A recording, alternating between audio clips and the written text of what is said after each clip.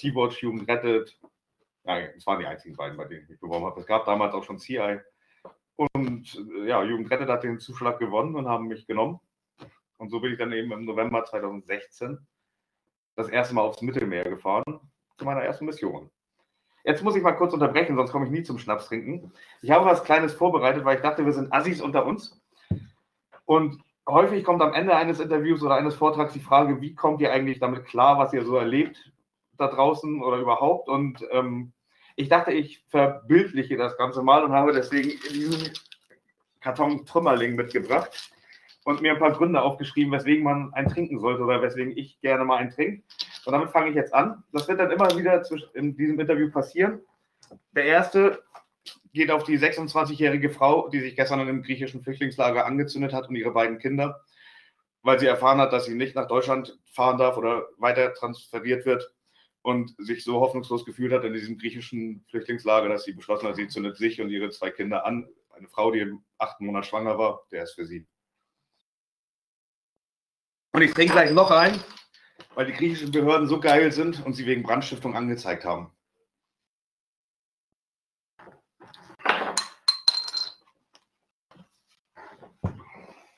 Entschuldigung.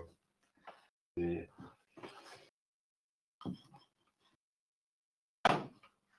Ja, geil, jetzt hast du mir komplett die Luft rausgenommen. Das tut mir leid, dann trinke ich noch Nein, nein, nein, stopp, stopp, stopp, stopp. stopp. Äh, deine, erste, deine erste Fahrt, wie, äh, als was bist du gefahren? Ich habe mich traditionell hochgearbeitet auf NGO-Schiffe. Also früher waren die NGO-Schiffe alle als Sportboote angemeldet. Das heißt, es hat gereicht, einen Sportbootführerschein zu haben und du durftest als Kapitän losfahren, was ich später auch durfte.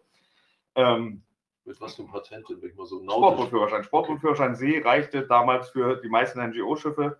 Inzwischen haben die meisten europäischen Länder, vor allem Holland und Deutschland, die Gesetze insofern geändert, dass NGO-Schiffe nicht mehr als Sportboote auslaufen dürfen, extra für die NGOs, damit sie es nicht mehr so leicht haben, Leute zu besorgen, die mitfahren können.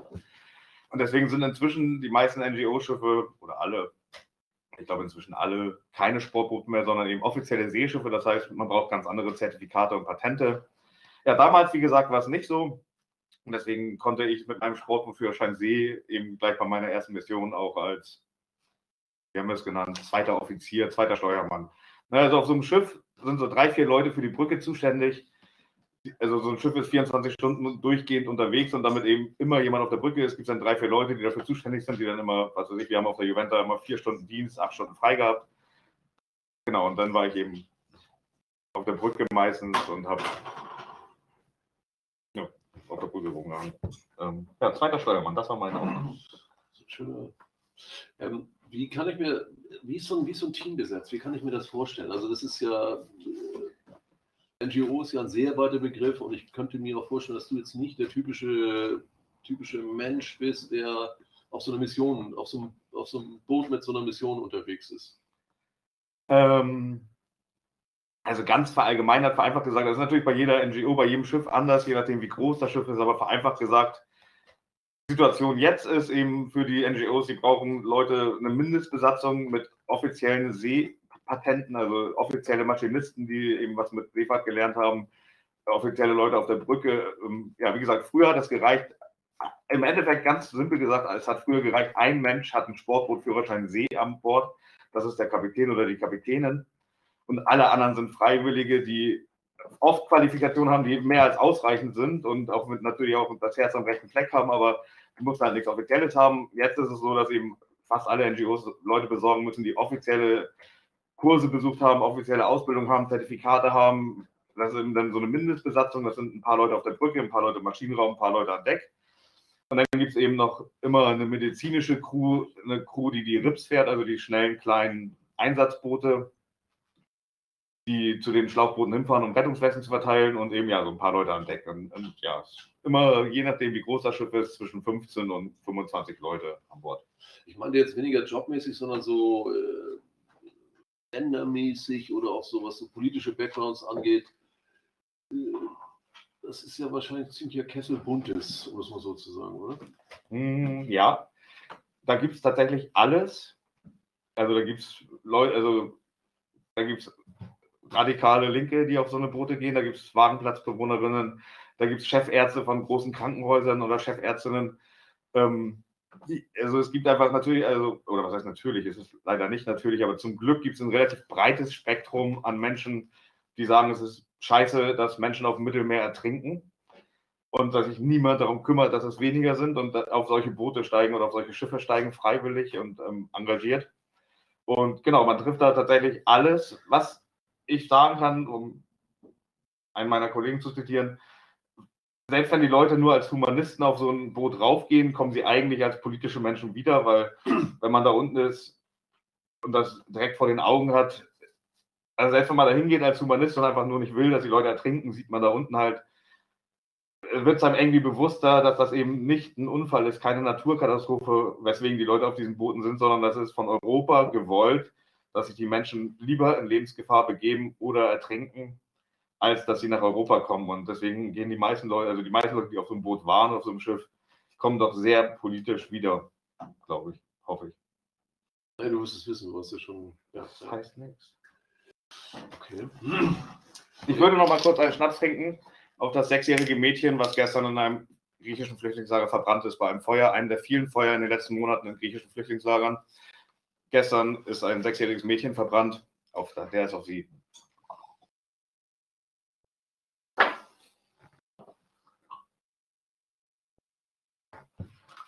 So wird das weitergehen. Ja, ja, du hast es ja vorher gesagt, es ist. Äh, Die Welt ist scheiße. ich glaube, das ist eines der wenigen Sachen, wo wir sofort einig sind. Okay. Äh, wenn ich jetzt davon ausgehe, dass ich eine so eine, eine, doch eine ziemlich breite Mischung habe von, ich sag mal so, von Humanisten slash Christen bis zu, bis zu seriösen Linksradikalen. Ähm, wie laufen da so Diskussionen ab? Gibt es die? Finden die statt? Äh, selbstverständlich gibt es Diskussionen. Also es gibt. Also ich kann natürlich nur von den Sachen erleben, reden, die ich erlebt habe, wo ich dabei war. Ähm, aber also äh, sozusagen im Hintergrund gibt es natürlich immer Diskussionen. Ne? Sea-Watch ist inzwischen eine riesige, das heißt in Anführungszeichen riesige Organisation, ist immer noch jung, ne? wenn man das mal sich überlegt. Sea-Watch hat sich 2015 gegründet, irgendwie eine, also NGO-mäßig oder gruppenmäßig immer noch eigentlich jung, im Gegensatz zu sowas wie Cap Anamur oder Ärzte ohne Grenzen oder sonst was. Ähm, aber natürlich gibt es ständig über alles Diskussionen. Ne? Angefangen über, muss man ein Sea-Watch-Shirt tragen, wenn man auf der Sea-Watch ist oder nicht? Oder was gibt es zu essen? Ähm, aber auch, was ist das politische Standing? Ähm, es gibt, es wird zu viel, also, aber das ist, glaube ich, vor allem, okay, ich habe schon, ich habe erst drei getrunken und ich sage jetzt schon, das ist ein typisches Problem der deutschen Linken, dass zu viel diskutiert wird. Ähm, Okay, das hatte ich auch später erwartet. ja, ich auch. Ich auch. Ähm, nein, natürlich, es wird viel diskutiert, weil das sind alles keine, fast alles, keine hierarchischen Gruppen, wo einfach es gibt nicht den Führer oder die Führerin, die bestimmt, wie es in dieser Gruppe läuft, sondern es wird einfach im Endeffekt natürlich jeder Schritt wird im kleinen oder im großen Kreis diskutiert. Und es ist natürlich auch einfach, die Situation ändert sich auch dauernd. Also sowohl für die NGOs als auch auf dem Mittelmeer.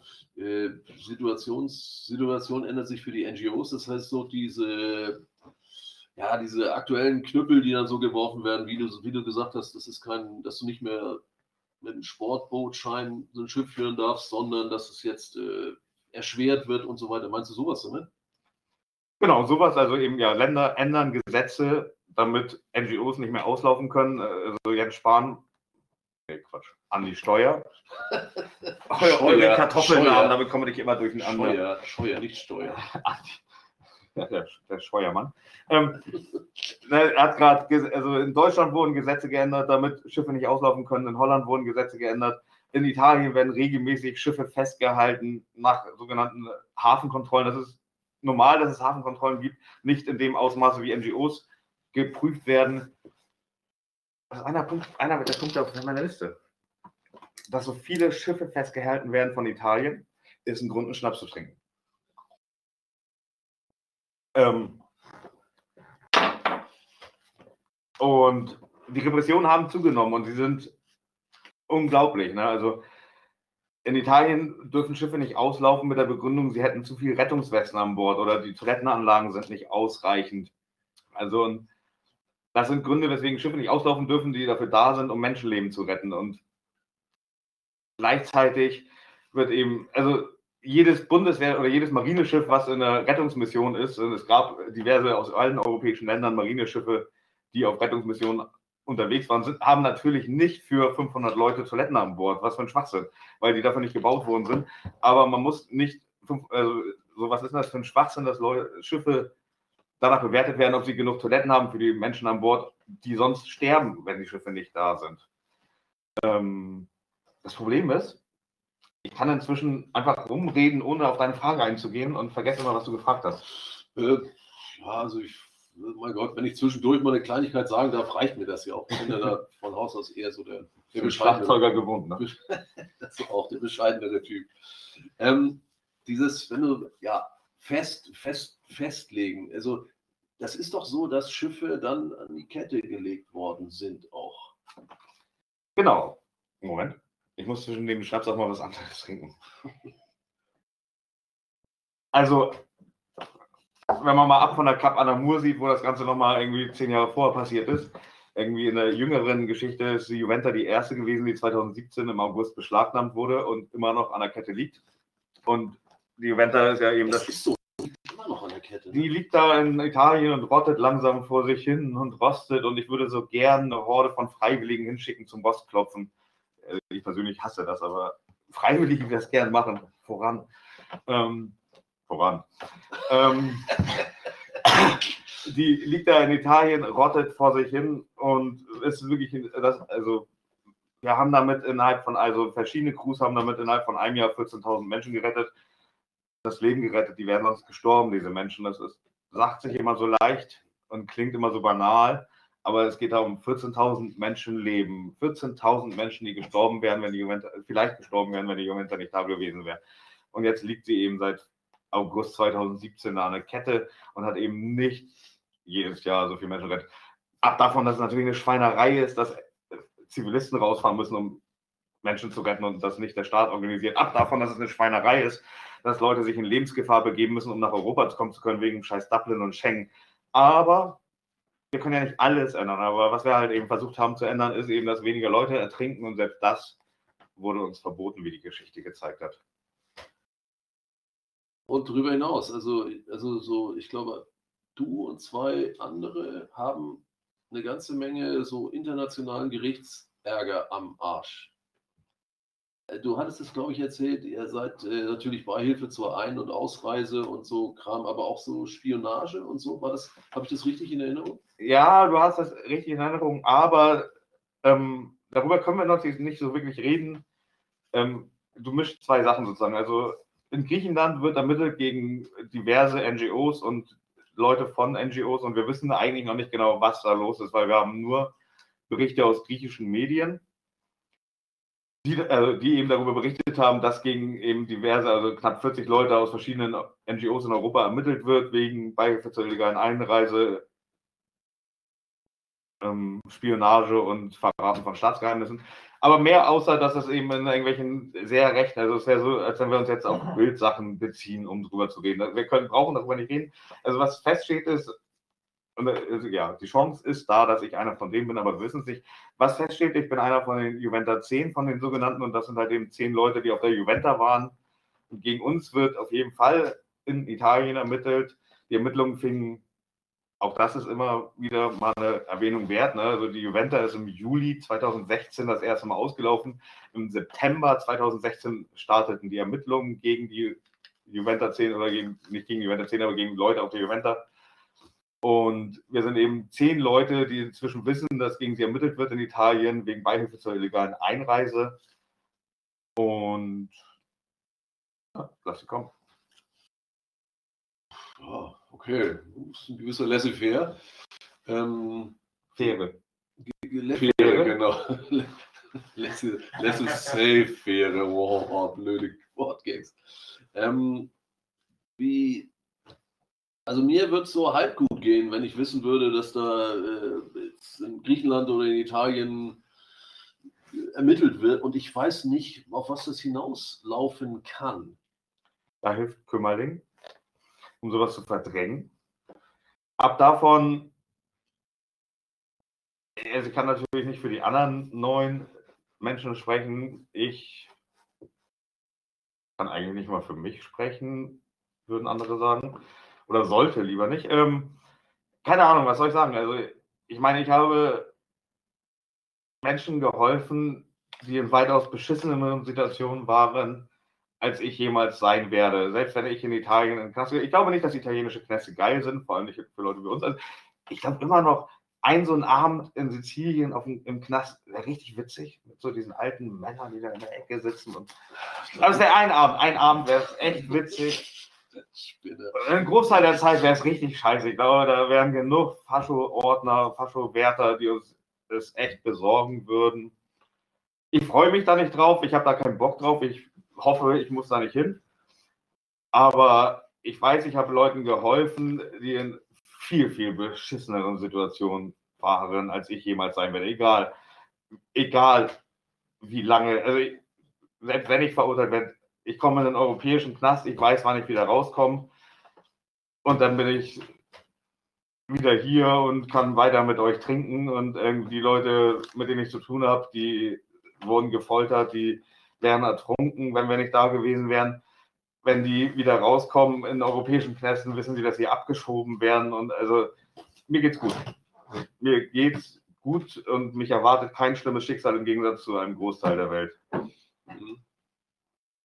Das soll jetzt nicht irgendwie angeberisch klingen. Also, ich trinke mal kurz einen Schnaps. Das kommt, glaube ich, auch nicht ähm, angeberisch rüber. Dieser Schnaps ist gewidmet vor kurzem, die, äh, von den letzten sieben Tagen waren zum Beispiel auch wieder, ich glaube, 77 Leute auf einem Boot, dem drei Tage nicht geholfen wurde, weil eben europäische Rettungseinheiten wie die italienische Küstenwache und die maltesische Küstenwache nicht sofort ausläuft, wenn Nicht-Europäerinnen in Not sind. Und da war ein Boot mehrere Tage in Seenot und unter anderem wurde eben ein Kind geboren auf einem dieser Boote, was trotz schwieriger Situation sowohl das Kind als die Mutter haben überlebt und dieses Schnaps ist dem Kind gewidmet.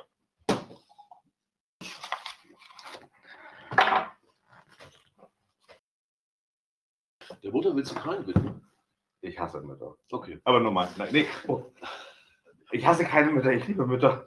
Oh Gott, ich, Mama, ich hoffe, du siehst das nicht. Dieser Schnaps ist für Mama.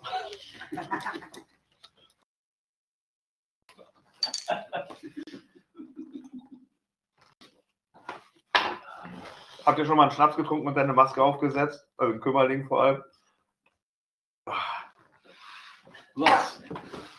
Das riecht nicht gut oder? Schlimmer als du. Das glaube ich sofort. Das glaube ich sofort. Wenn ich jetzt, es wird ja kein, es wird ja kein so ein Schema F geben, aber zum Beispiel, also was ist, ich, wenn ihr jetzt, wenn du das Boot, auf dem du, das du gefahren hast, wenn ihr jetzt Leute gerettet habt, wie geht das dann weiter? Also das ist so, ihr werdet ja nicht irgendwo anrufen und sagen so, okay, wir haben jetzt hier 160 Leute. Stopp. Ähm, also tatsächlich, also ich muss dich unterbrechen, weil du hast nämlich, leider hast du recht. Äh, äh, genau so ist es. Also, beziehungsweise sogar schon vorher. Also, ich war jetzt seit zwei, drei Jahren nicht auf dem zentralen Mittelmeer, auf dieser meist befahrenen und tödlichen Grenze der Welt. Ähm, zu der Zeit, wo ich da war, war es einfach tatsächlich so, dass alle Einsätze, die wir gefahren haben, jede einzelne Rettung, die wir gemacht haben, war koordiniert und autorisiert von einer Rettungsleitstelle in Rom. Jetzt kommt der Moment, wo ich ein bisschen aushole. In Rom? Ähm, das Meer, also ihr kennt die Welt, das ist diese, ich sage, das ist eine Kugel. Und davon sind ungefähr 70 Prozent von Wasser bedeckt.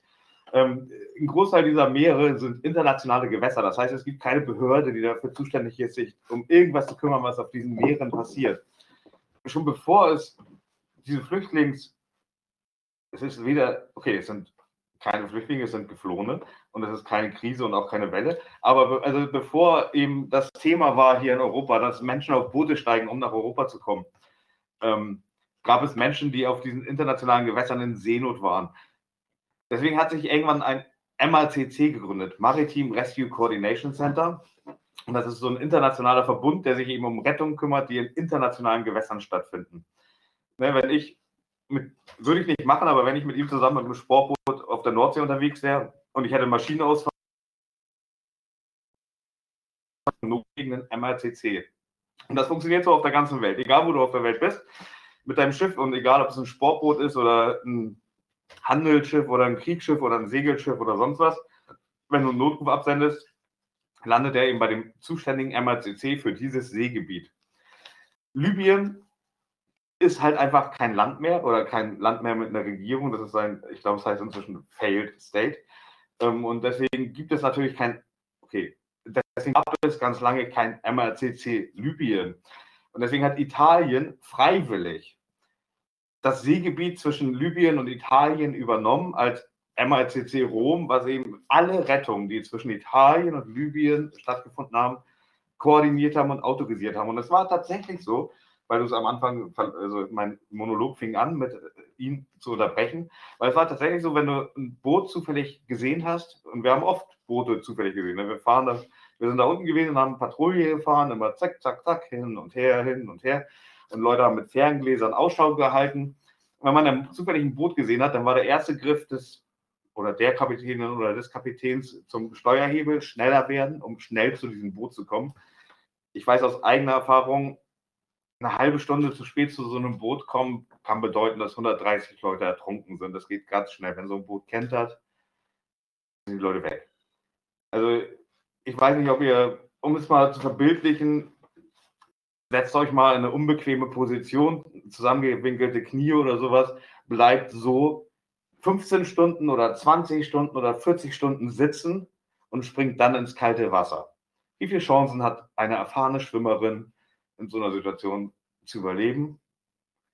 Wenig. Und die meisten Menschen auf diesen Booten sind keine erfahrenen Schwimmerinnen. Und natürlich hat jemand, der sich irgendwie eben seit 15, 20 oder 30, 50, 60, 70, 80, 90, 100 Stunden nicht bewegt hat und dann ins kalte Wasser fällt, die sind weg. Ganz, ganz schnell sind die einfach ertrunken. Und ich weiß es eben aus eigener Erfahrung, du kommst eine halbe Stunde zu spät zu einem Ort, wo ein Boot war mit 130 Leuten drauf. Und diese 130 Menschen sind weg. Einfach weg. Ertrunken. Und jetzt bin ich schon wieder so ergriffen von meinen eigenen Worten, dass ich nicht weiß, worauf ich hin. Worüber haben wir gerade geredet? Äh, über die Reihenfolge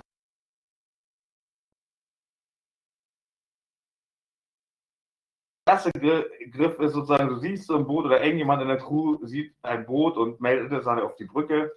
Du gibst Vollgas, um möglichst schnell zu diesem Boot zu kommen, weil es ist eben, wie gesagt, wie eben beschrieben, um Minuten gehen kann, bis ein paar hundert Leute gestorben sind. Nicht zwei, drei. Nicht irgendwie, ne? Es geht nicht um irgendwie ein Sportboot voll mit zwei deutschen Spacken. Das sagt man nicht. Ähm, Doch. Nein, darf man nicht sagen, wegen Ableismus. Ähm, ähm, Doch zwei deutschen äh, Schimpfwort deiner Wahl. Ähm, oder meinetwegen auch Franzosen oder Spanier, ist mir scheißegal. Meinetwegen auch Ghanesen. Ähm, auf jeden Fall, es geht.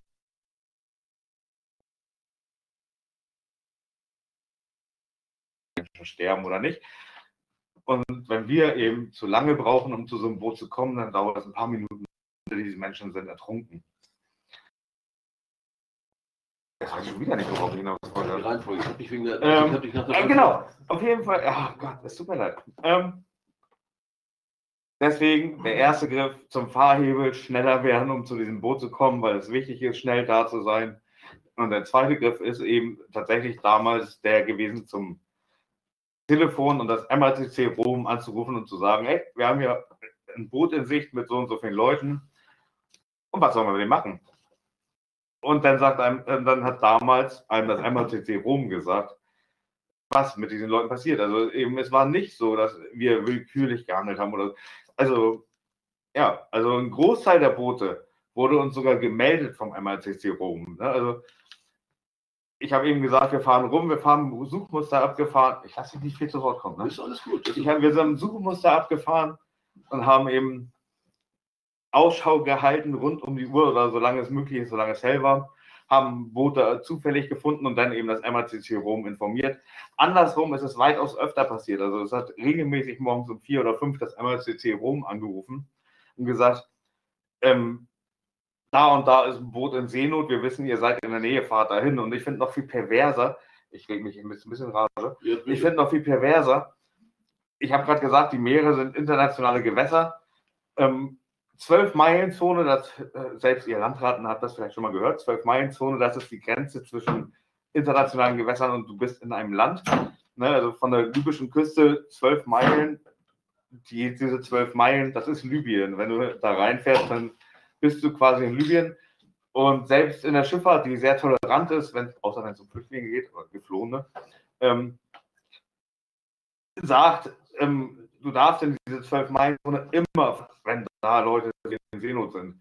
Und ich habe richtig oft, äh, auf der Juventa, ich habe richtig oft die Anweisung von einer italienischen Behörde, nämlich dem MACC,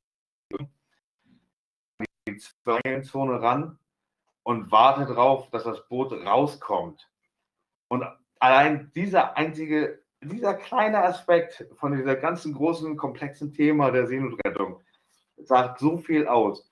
Da sind Menschen, die sind auf einem Boot, wo es richtig scheiße ist, es ist unbequem, es ist ätzend, die haben nicht genug Sprit, um irgendwo hinzukommen. Sie sind eigentlich zum Tode verurteilt.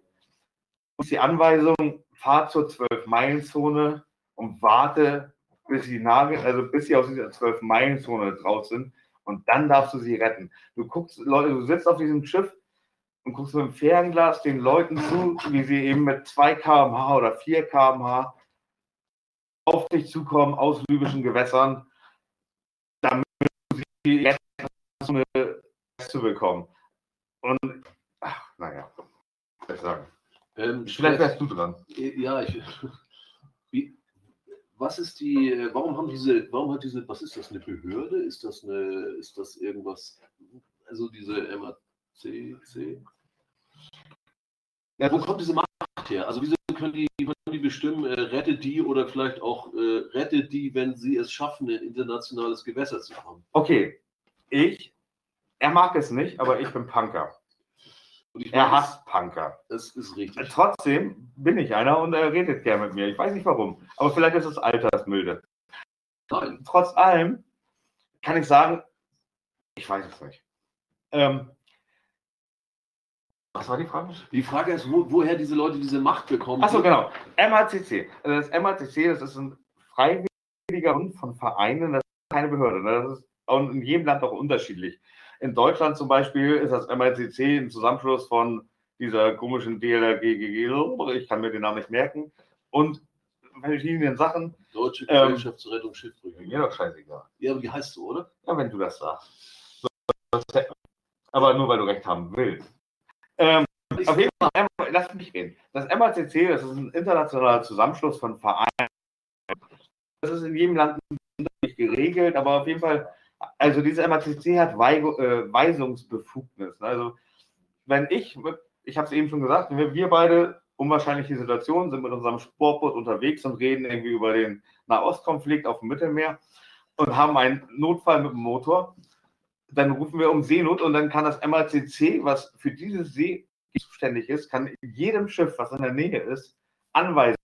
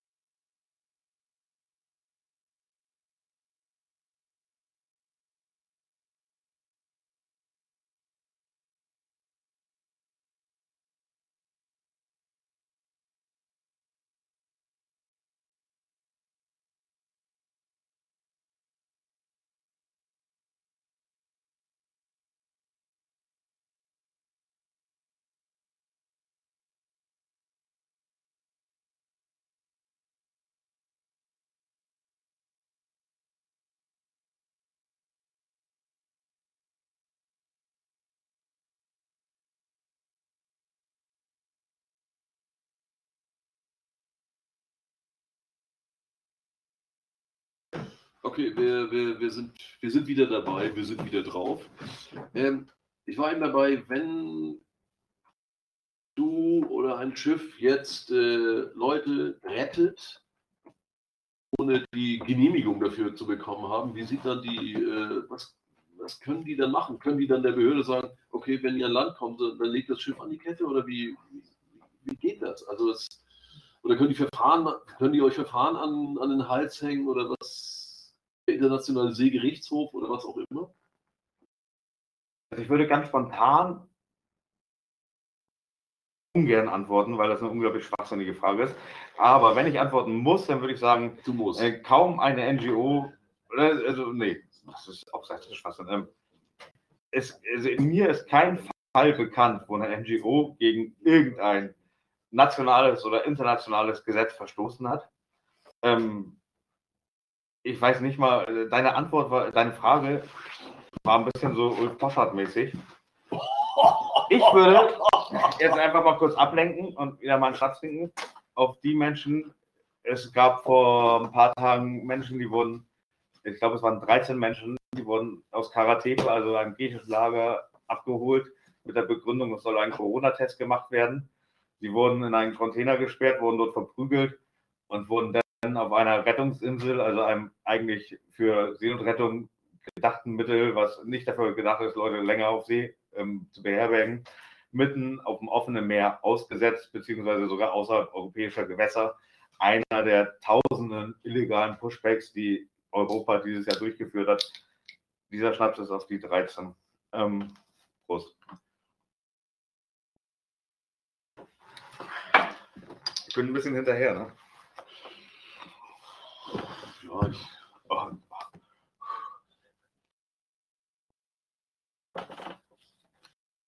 Also wir haben keine Gesetze gebrochen und es gibt keinen Grund gegen uns zu ermitteln. Es gibt weder einen Grund gegen die Juventa zu ermitteln noch gegen die Sea-Watch.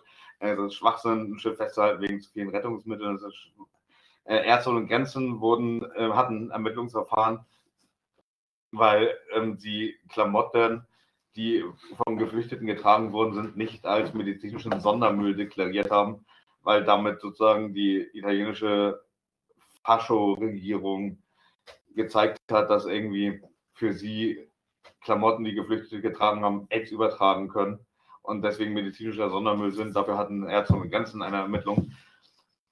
Und, und, und. Also alle diese Ermittlungen sind, ich meine, wir sind hier, okay, wir sind nicht ganz unter uns, aber wir wissen, dass Linke wegen Schwachsinn und wegen, also es geht nicht darum, ob die da oben recht haben, sondern es geht darum, uns klein zu machen. Ähm, und wir wissen, dass sie dafür zu, für nichts zu schäbig sind. Also nehmen wir Sarah Mardini, komm in Redestimmung. Sarah Mardini, eine selber geflüchtete Frau, die irgendwie aus Syrien geflüchtet ist. Besondere Geschichte bei ihr. Ähm, ihr Boot hatte während der Überfahrt von der Türkei nach Griechenland einen Maschinenausfall und sie und ihre Schwester zum Glück recht gute Schwimmerin.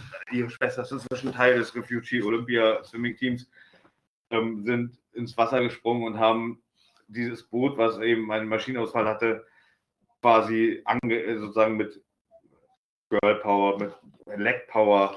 Sie haben sozusagen, also es war ein Boot, was Maschinenausfall hatte und Sarah Martini und ihre Schwester und andere Menschen haben alle Menschen auf diesem Boot im Endeffekt das Leben gerettet, indem sie sie rübergeschwommen haben dieses Boot angeschoben haben, im, schwimmend im Wasser.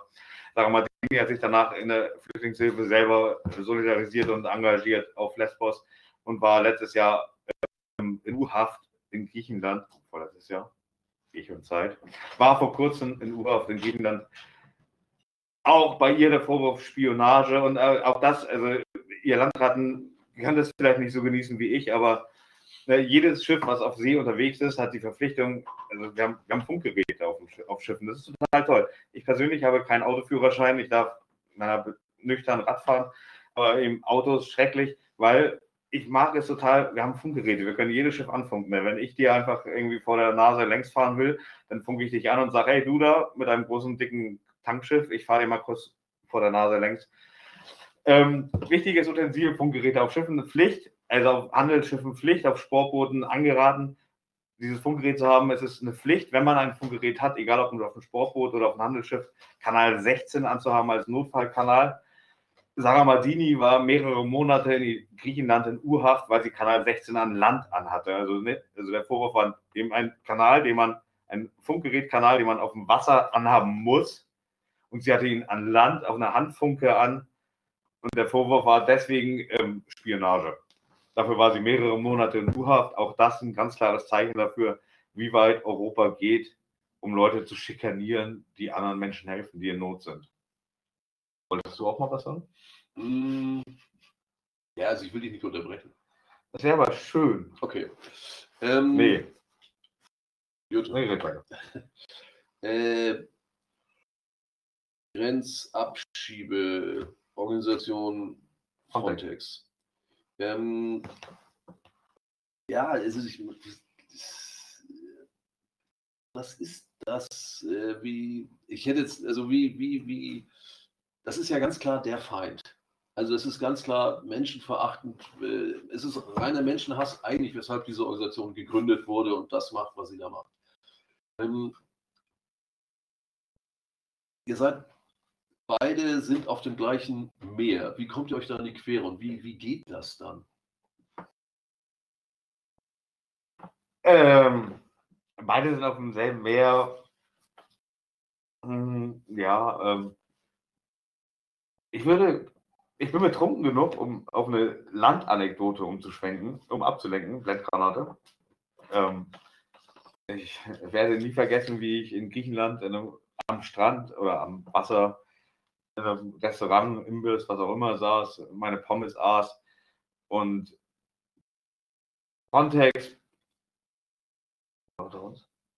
Bullen, Menschenfeinde, Arschlöcher, ich hasse euch, Wichser, Frontex abschaffen. Ähm, wie Menschen von Frontex, Angestellte von Angestellte der Firma Frontex, also von Europa bezahlte Menschen, an meinem Tisch vorbeigingen und na, ihr Kurva Mongus, was wollt ihr hier? Ähm, das ist die Stimmung, die auf Lesbos von Frontex verbreitet wird, dass irgendwelche so eine, also ich bin ein schmaler, dünner ähm, Küchenmeister im Gegensatz zu denen. Es waren wirklich so eine Schränke, die unser, an unserem Tisch vorbeigingen. Vorher haben sie auf unser Ripp, also auf unser nicht gut funktionierendes, aber es hat funktioniert damals äh, Beiboot von der Mare Liberum draufgespuckt haben, draufgascht haben und dann ging sie halt an unserem Tisch vorbei. Ah, ihr Kurva Mongus. Ja, ich meine, ab davon, dass ich nicht nur Frontex hasse, sondern jeden Menschen in Uniform. Ähm, das sind Leute, die vom europäischen Staat, äh, von den europäischen Staaten dafür, egal, ne, das sind Behördenmenschen und die lassen sich auf ein Niveau runter, dass sie ihren politischen Feind Kurva Mongus nennen. Da finde ich es relativ wenig beizusteuern und Frontex gehört abgeschafft, Grenzen gehören abgeschafft und ich sollte mehr dich zu Wort kommen. Nein, nein, alles gut. Ja, ja, ich weiß, du genießt das, dass ich mich hier um Kopf und Kragen Tust du drehe. nicht. Jetzt gehen wir nicht auf die Nerven. Das geht so schnell bei dir. Ja, das ist, das ist allerdings richtig. Ähm, also ich habe ich hab heute Morgen gedacht, so, okay, äh, was ist, Frontex machen ja auch Pushbacks, äh, Pushback-Operationen. Also was ist ich, ich habe gedacht, so wie, was, wie kann das sein, was ist ich, wenn ihr jetzt Leute gerettet habt, äh, irgendwo an Land bringen habt können und die wieder eingesammelt werden und wieder rausgefahren werden, äh, passiert sowas, dass Leute zweimal, zweimal aus dem gerettet werden? Okay, das ist ein sehr, sehr, sehr, sehr komplexes Thema. Ähm, und das ist ein. Also, ich habe auf Lesbos Leute getroffen, diese Überfahrt von der Türkei nach Lesbos 12, 15 Mal gemacht haben. Also jedes Mal abgefangen wurden. Ich habe Leute getroffen auf der Sea-Watch als ich auf der Sea-Watch 3 war, auf dem zentralen Mittelmeer, die uns erzählt haben, dass sie gerade, also wir haben sie sozusagen, wir haben, es war eh scheiß Tag, scheiß Situation. Ähm, Leute, wir waren relativ zeitgleich mit der sogenannten libyschen Küstenwache an einem Boot und ähm, die Leute haben sich in Lebensgefahr gebracht, um eben bei uns zu landen und nicht auf diesem Boot der libyschen Küstenwache. Und Menschen, die wir da aufgenommen haben, haben uns erzählt, dass sie gerade das dritte Mal auf so einem Boot waren, ähm, dass sie dreimal tags, nachts von libyschen Schleppern, die Menschen gehen nicht freiwillig auf diese Boote. Ne? Ich weiß ja nicht, wer so zuguckt. Diese Menschen gehen nicht freiwillig auf diese Boote. Das ist kein Vergnügen, das machen sie nicht gerne. Die Menschen sitzen in libyschen Lagern und werden gefoltert. Wenn sie nicht genug Geld für die Überfahrt haben, dann gibt, werden irgendwie Videos gemacht von ihnen, wie sie gefoltert werden, die an ihre Familien geschickt werden, bis die Familien sagen, wir besorgen das Geld irgendwie. Wenn sie am Strand sind und sehen, dieses Boot ist zu voll, es ist zu gefährlich, sie trauen sich nicht rauf, dann werden sie erschossen, wenn sie nicht raufgehen. Die gehen nicht freiwillig auf diese Boote. Die denken nicht, ich bin hier am Strand in Libyen und ich fahre zwei Stunden Spazierfahrt und dann bin ich in Europa. Denen wird irgendwie Lichter von einer ähm, Gasverbrennungsanlage, die so 70 Seemeilen von Libyen entfernt ist, die wird ihnen meistens gezeigt. Und ihm wird gesagt, das ist Europa, da müsst ihr hinkommen. Und trotzdem wollen diese Leute nicht auf die Boote, weil es ist viel zu voll. Ihnen ist klar, es gibt wenig Chancen, so eine Bootsfahrt zu überleben. Ihnen ist klar, es ist lebensgefährlich, auf dieses Boot zu steigen und die Chance, in Europa anzukommen, selbst wenn es da vorne ist, wo diese Lichter sind, was diese Arschlöcher behaupten, selbst dann wissen sie, es ist gefährlich und es, die Gefahr besteht, wir kommen nicht an, weil das Boot ist viel zu voll. Und sie werden mit vorgehaltener Waffe auf diese Boote gezwungen und wenn sie nicht aufsteigen, dann werden sie erschossen. Davon gibt es genug Berichte, dass die Menschen direkt am Strand erschossen werden, wenn sie nicht auf diese Boote gehen. Und wenn sie dann eben auf diesen Booten sind, diese Boote sind viel zu schlecht ausgerüstet, die haben keinen Treibstoff dabei, die haben nicht genug Nahrungsmittel dabei, die haben nicht genug Wasser dabei oder sonst was. Die gehen eben, ich weiß schon wieder nicht, worauf ich hinaus wollte. Ähm, die Menschen gehen nicht freiwillig auf diese Boote, die werden gezwungen. Die werden von den Schleppern gezwungen. Erst wird ihnen das Geld abgezwungen, das bezahlen sie nicht freiwillig, das bezahlen sie nicht, weil sie es übrig haben, das bezahlen sie, weil die Europäische Union sie zwingt, wegen eines Dublin-Abkommens oder wegen eines Schengen-Abkommens zwingt das Euro die Europäische Union die Menschen, sich in Lebensgefahr zu begeben, um nach Europa zu kommen. Und die Menschen wollen nicht auf diese Boote. Sie haben Angst vor diesen Booten, weil sie haben Angst vor dem Meer. Sie haben, viele von diesen Menschen haben das Meer noch nie gesehen. Und dann werden sie eben mit vor, also erst werden sie gefoltert, damit sie das Geld zusammen haben, um auf diese Boote zu steigen. Und dann werden sie mit vorgehaltener Waffe gezwungen, auf diese Boote zu steigen. Und dann ertrinken sie in den meisten Fällen. Und ich weiß nicht, worauf ich hinaus wollte. Ich trinke noch einen Schnaps. Entschuldigung.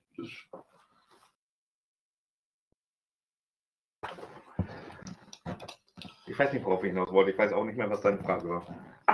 Ich, äh, sehe, der, das, die, der, der, Ursprung war eigentlich, wie das mit den Pushbacks ist, ob es da tatsächlich sein kann, dass dann äh, Leute gerettet werden, an Land gebracht werden, wieder zurück, zurück in internationale Gewässer gefahren werden und dann mit Glück dann wieder gerettet werden. Und auch das passiert. Also nicht nur im zentralen Mittelmeer, also auch das, also sozusagen die sogenannte, also die libysche Küstenwache ist ein Witz. Ne? Also ich war 2016, habe ich das erste Mal ein Boot getroffen von der libyschen Küstenwache. Das war ein gammeliges Sportboot. Da waren Leute in der Fantasieuniform, ähm, die, es war, ja, egal. Ähm, die libysche Küstenwache von, von Europa äh, trainiert, finanziert, ausgerüstet und sonst was. Die haben inzwischen richtig viele Boote und es gibt Videos aus den letzten Tagen, wie die libysche Küstenwache, die sogenannte libysche Küstenwache Menschen rettet. Und es ist ihnen scheißegal, ob dabei, also dabei sind Leute gestorben, dabei sind Leute ertrunken. Es ist ihnen scheißegal. Es geht ihnen nicht darum, Menschen zu retten. Es geht ihnen darum, im Auftrag von Europa dafür zu sorgen, dass Menschen nicht nach Europa kommen. Es geht ihnen darum, irgendwie dafür zu sorgen, dass die Menschen eben, also entweder sollen die Leute ertrinken oder zurück nach Libyen gebracht werden. Und das ist halt ein Kreislauf. Ich habe wahrscheinlich eben, bin ich nicht mehr drauf gekommen, weil ich nicht mehr wusste, worüber ich geredet habe. Aber wir haben diesen Menschen eben an Bord des Ivo Schrei gehabt, der gesagt hat, er war zum dritten Mal an Bord und er meinte, nachts zwingen ihn Leute mit Waffen auf ein Schiff und tagsüber retten ihn dieselben Menschen, haargenau dieselben Menschen, retten ihn von diesem Boot und bringen ihn zurück nach Libyen. Das ist halt ein richtig geiler kapitalistischer Kreislauf. Die Leute verdienen doppelt. Sie nehmen einmal die Leute aus, indem sie sie nachts auf die Boote zwingen und dann verdienen sie eben, indem sie Geld von Europa nehmen und die Leute tagsüber wieder zurückbringen und auch im, in allen anderen Gebieten finden Pushbacks Batch. Also wir können irgendwie aus der Balkanroute gibt es ohne Ende Berichte, wie Leute irgendwie unter, also nicht nur, also illegal, ich meine, ich, Alter, ich bin Punker, mir ist illegal, scheißegal. Ich darf nicht weiterreden, sagt er. Nein, es gibt äh, Frage, Statement. Ich würde es erstmal Statement geben, vielleicht dann eine implizite Frage auch drin. Äh, wie grauenvoll das alles ist, wissen, glaube ich, wir alle. Um es zu ändern, bräuchte es vielleicht doch einen klaren Kopf. Das ist ein Statement. Das ist halt die Frage, wolltest du darauf eingehen? Kommt auch keiner was. Also ich schlage einfach vor, geh nicht drauf ein. Ich bin offen für Vorschläge. Ich bin offen für Vorschläge. Ich bin, also ich bin mit meinem Latein am Ende, kann ich ganz klar sagen. Ich bin verzweifelt, ich bin deprimiert, ich bin traurig und ich weiß nicht mehr weiter. Und mit legalen Mitteln weiß ich eh nicht weiter. Ja, klarer Kopf ist bestimmt geil, aber also ich mag so wirken, als wenn ich der irgendwie der Suftclown irgendwie aus der NGO-Szene bin. Ähm, bin ich auch gerne im Endeffekt, wenn das Thema irgendwie, wenn das Ganze Öffentlichkeit kreiert. Ähm, ansonsten muss ich leider gestehen, ich trinke nicht sieben Tage die Woche und ich trinke vor allem nicht immer so viel, auch wenn ich es gern würde. Und wenn du gute Ideen hast, wie wir das Ganze voranbringen, schreib uns eine E-Mail. Dann habe ich das nächste, naja, die libysche Küstenwache wird ja auch von den Deutschen nicht nur finanziert, sondern auch ausgebildet. Ja. Was zu sagen. Stimmt. Die libysche Küstenwache, die sogenannte libysche Küstenwache, wir stehen da drauf, so viel Zeit muss sein. Die sogenannte libysche Küstenwache wird nicht nur von Deutschland äh, finanziert, ausgerüstet und trainiert, sondern eben von fast allen europäischen Staaten. Und das ist quasi sozusagen, ähm, also, ach, scheiße, kein Name. Ach, ähm, äh, ich habe es nicht gesagt. Ähm, ich könnte jetzt sagen, la la la, äh, ich lenke ab. Äh, Jetzt kommt Werbung für die RAF. ähm, ja, stimmt. Nicht. Was? Nein, du hast doch gerade eine Frage beantworten wollen. Aber stimmte. Ja. Ja, ja. Haben wir noch eine Frage oder ist das? Nein, Jetzt bist du wieder dran, Jetzt, verdammt. jetzt, bin, jetzt bin ich wieder. Okay, Pushbacks, bla bla bla und so. Finden statt. Äh, ja, das. Äh, ich glaube, da gibt es niemanden, der da wirklich dran zweifelt. Doch. es- Gibt es nicht gerade sogar einen Prozess gegen so einen äh, Frontex-Chef Dingenskirchen, der sich erklären muss, äh, dass diese Pushbacks ja offensichtlich doch stattfinden, weil es da äh, Filmaufnahmen von, von gibt, wie, wie Leute zurück, ja wirklich gepushbackt werden. Okay, jetzt, also ich, ich, ich gestehe was. Ich rezitiere Sachen, ohne sie zu lesen. Ähm, ja, es gibt, also nein, es gibt total viele. Also das ist, ich weiß gar nicht, ob es geil ist. Also ich meine, du bist älter, du musst es besser wissen. So, Wie, wie ist es zu erleben, dass die anderen die ganze Zeit feststellen, man hatte recht? ganz im Ernst, willst du es wirklich wissen? Das Nee. ist total deprimierend. Ja. Es ist wirklich Macht graue Haare, ne? Auch. Auch, ja, ja. Nein, also es wird tatsächlich gegen Frontex ermittelt. Und das ist, einerseits befriedigt mich das natürlich, weil ich finde, Frontex, Frontex, Wichser. Hier, warte mal kurz. Frontex, Wichser. Darius, ich hasse euch. Ähm, Ich schließe mich einfach mal an. nein, Frontex sind dumme Arschlöcher, Menschenfeinde, die brechen Gesetze, die kümmern sich nicht um internationale. Das ist halt das Schlimme. Frontex sind so scheiße, dass die Leute wie mich dazu bringen, sich darüber aufzuregen, dass jemand Gesetze bricht. Wo sind wir gelandet?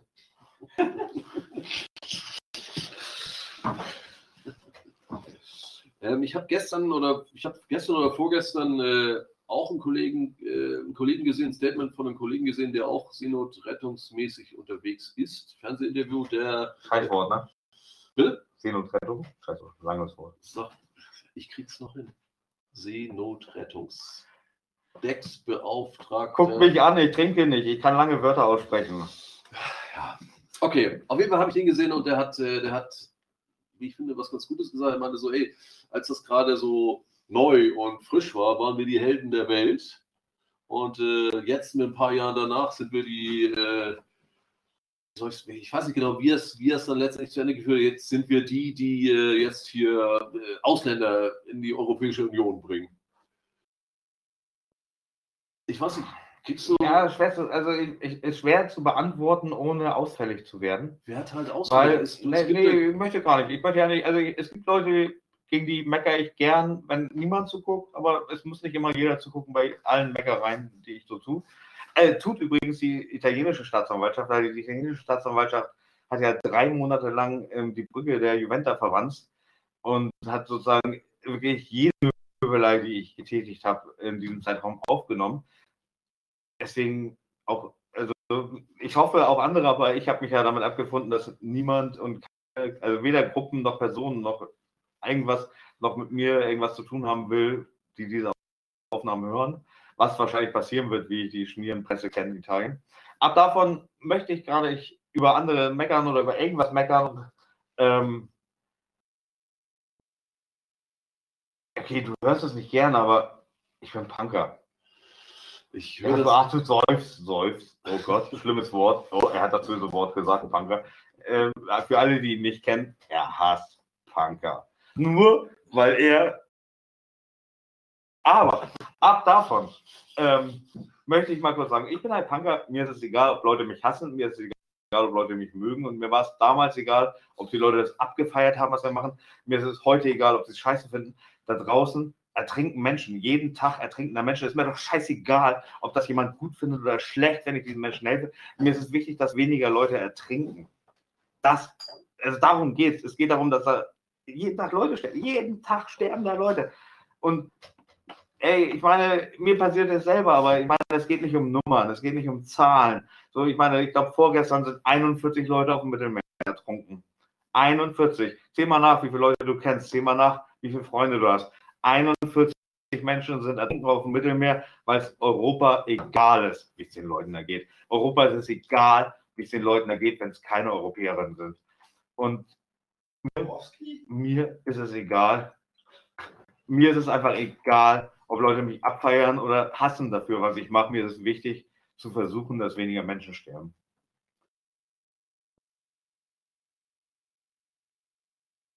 Okay, Fun Fact dazwischen. Jedes Mal, wenn ich ihn sehe, ist das, das so mehr oder weniger der erste Satz, den er sagt, ich bin Punker. Deshalb möchte man mir vielleicht auch so ein bisschen Resignation auch ein bisschen verzeihen. Ähm, Solidarität. Was, äh, also jetzt so Solidarität mit den Rettenden. Ist das, äh, äh, läuft das gut? Funktioniert das gut? Gibt es so etwas, äh, wo du sagen würdest, da, ist, da kann man mehr machen, das kann man besser machen oder das hat noch nie jemand gemacht? Schwere Frage, sehr schwere Frage es haben viel zu viele Leute viel zu viele Sachen gemacht, die, nee, es haben viel zu viele Leute viel zu viele Sachen nicht gemacht, die noch nie gemacht wurden. Äh, wir müssten alle viel, viel aktiver werden, viel, viel kreativer und viel mehr ähm, kreative Widerstandsformen überlegen und vor allem einfach, vor allem viel aktiver werden, weil also ohne jetzt jemand verurteilen oder irgendjemand verurteilen zu wollen, aber es reicht halt eben nicht, bei Twitter was abzuposten. Es reicht nicht, ein Poster ins Fenster zu hängen. Es ist ein schöner Anfang, ein schöner Start, ähm, ein gutes Fundament, um ein Gespräch anzufangen. Es hilft aber niemandem. Ähm, ich weiß es nicht. Ich möchte niemanden anstacheln zu illegalen Tätigkeiten, aber ich begrüße sie. Ähm, ansonsten ja, es wird viel zu wenig gemacht. Wir sind viel zu wenig wütend. Also ich meine, im Endeffekt ist es egal. Wir lesen diese Zahlen, sie rauschen an uns vorbei. Ne? Gehe ich auf Twitter, also meine, wenn ich auf Twitter gehe, dann sehe ich irgendwie in meiner Timeline innerhalb von einer Stunde irgendwie, ja, eben eine 26-jährige Frau, die sich versucht hat anzuzünden, 77 Menschen, die auf dem Mittelmeer fast ertrunken werden, 500 Menschen, die auf Italien angekommen sind, 30 Menschen, die da und da, also, also ich meine, die Welt ist richtig, richtig scheiße. Die Welt ist richtig, richtig schlimm und wir machen alle, alle, jeder Einzelne, inklusive mir, inklusive dir, inklusive dir, viel zu wenig. Völlig klar. Aber wir wissen halt auch einfach nicht, was wir tun sollen. Und wir verzweifeln dran, was wir, nicht, dass wir nicht wissen, was wir tun sollen. Und ich würde gerne mehr Menschen retten vom Ertrinken. Ich würde gerne mehr Menschen aus den Lagern holen. Ich würde gerne dafür sorgen, dass in Deutschland niemand in solchen Lagern leben muss. Ich würde gerne Leute aus dem Knast holen. Ich würde gerne so viel Tolles tun und so viel vieles anzünden. Aber das darf ich hier nicht sagen, wurde mir gesagt. Also weshalb ich gefragt habe, nach Was hast du gefragt? Ist, ich habe es auch schon. Ähm, weshalb ich diese Frage, die ich jetzt selber gar nicht mehr so richtig zu, zustande kriege, gefragt habe, ist, also ihr habt ja so ab so einem gewissen Level habt ihr ja auch so mit so karitativen Organisationen zu tun. Also mit. Das ist jetzt böse Wort. Bitte? Was? Karitative Organisation zu tun. Ähm, Einmal jetzt. Das passt ungefähr in eure Thematik rein, wenn es um Solidarität geht. Hier fragt eine Person, du wirkst ja sehr recht emotional auch an der ganzen Sache dabei. Hast du ein Netz, was dich auffängt? und was sich um dich kümmert, sozusagen. Und wer dich unterstützt.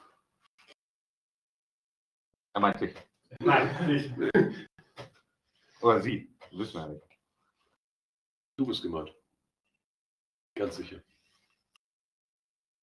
Ich habe das Gefühl, alles, was ich jetzt sage, kann gegen mich verwendet werden. Ich würde einfach noch einen Schnaps trinken. Ich gucke mal kurz, auf wen gerade jetzt. Es gibt richtig viele Gründe, Schnaps zu trinken. Ich habe mir extra ganz viele Gründe aufgeschrieben, aber ich bin inzwischen zu besoffen, um jeden so einzeln ernst zu nehmen. Und deswegen gucke ich mal kurz, was wichtig ist. Es ist alles wichtig natürlich. Ähm, ich trinke jetzt ein, ein, einer der Punkte ist Scheitern der Linken. Darauf trinke ich auch einen Schnaps. Die Linke scheitert gerade. Ne? Ich meine, wir haben gerade die Chance. Die Welt geht zugrunde. Wir könnten sie ergreifen. Also wenn jemand Kluges da draußen ist, Mann, Frau, Tier, S. Also wir, brau also wir brauchen kluge Ideen gerade. Ne? Euch, wir brauchen euch. Werdet kreativ, werdet aktiv, macht was, seid widerständig, zündet was an. Prost.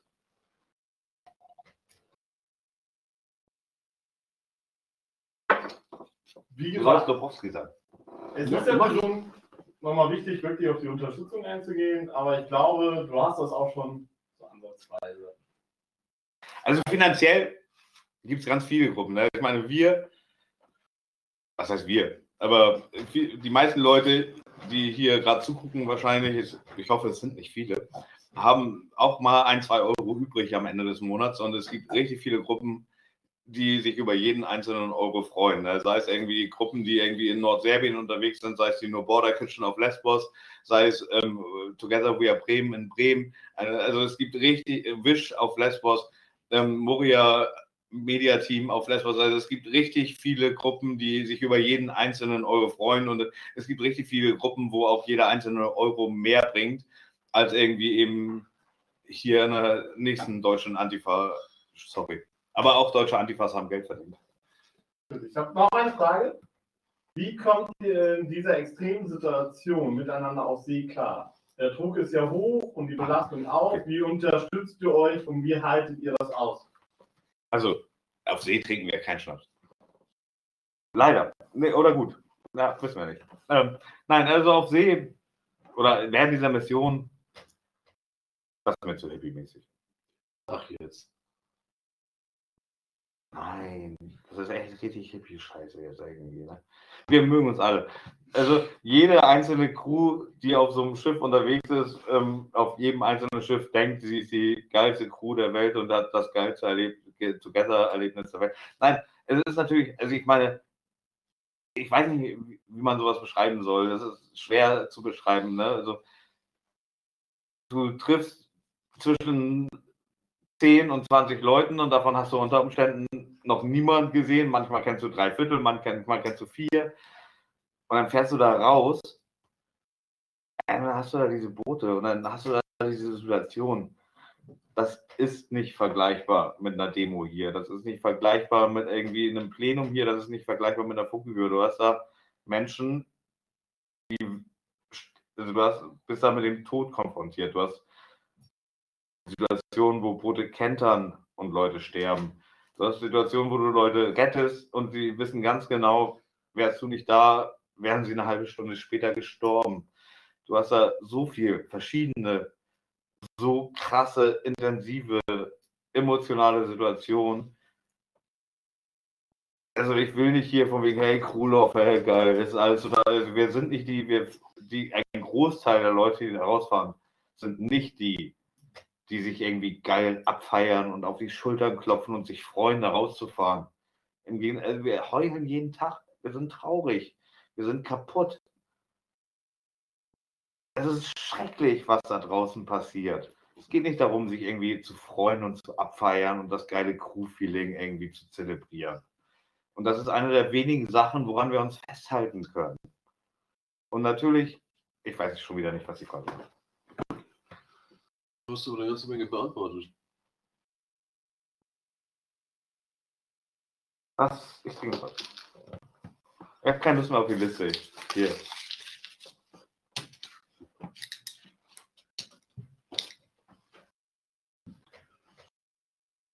Haben Haben wir noch was? Ist noch. Willst, hast du noch was, was du loswerden willst? Was du sagen? Macht alles kaputt, zündet alles an. Revolution. Würde ich mich gerne anschließen. Ey, vielen Dank, dass du da warst. Das war, ja, äh, oh mein Gott, bevor ich jetzt hippie-mäßig drauf bin, ist versuchen wir das. Ähm, nächste Woche, gleicher Tag, gleiche Zeit. Geht es- Angucken. Wird nicht so lustig, aber spannend. Ja, wahrscheinlich, wahrscheinlich. Ist eine Freundin da, die die letzten zwei Monate an Bord der vier war, mit der wir dann quasi so ganz aktuell. Wann warst du das letzte Mal? Du machst ja nicht mal Unterschiede zwischen den NGOs. Die war auf der 4. Von welchem Verein? Simon. Guck, ist dir total egal. Selbst dir, selbst dir als Organisator dieser Reihe ist ja egal. Es ist mir was. Naja, aber so seid ihr alten Leute. Ähm, okay, Faden, alte Leute. Ja, nächster Mittwoch, 19.30 Drei Hier- Faden sind sechs Meter. hier auf diesem, hier auf, hier auf diesem Kanal. Es hat uns sehr gefreut, dass ihr wieder dabei wart. Es hat uns gefreut, dass du hier warst. Und ähm, ja, bis nächste Woche. Bis dahin. Tschüss.